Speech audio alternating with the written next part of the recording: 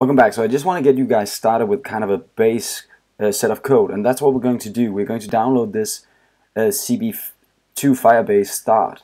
Uh, I'm going to add another set later but this is kind of the starter code. I'm not going to change that so that's the base code for you guys to start working on and it already has material installed, fun awesome.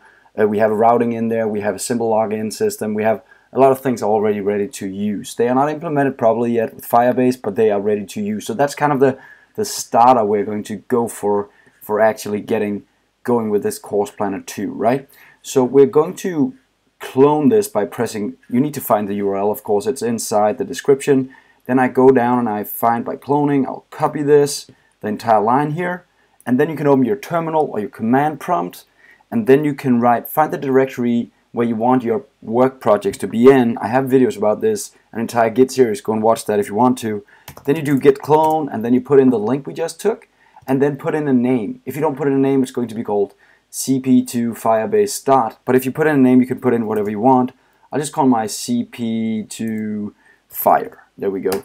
So I clone this down to the CP2 Fire, and I can go into this folder now, CP2 Fire, like this and here we have my actual project.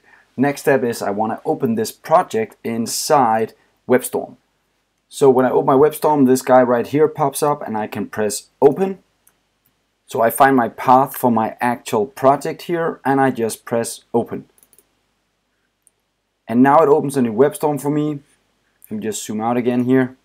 So you guys can see the entire project here. So now we are in inside WebStorm with our new project and of course I'll have to run over all of these files with you just so that you know what's in there. We'll do that in the next lesson. So that's how you clone and open your project. See you next time.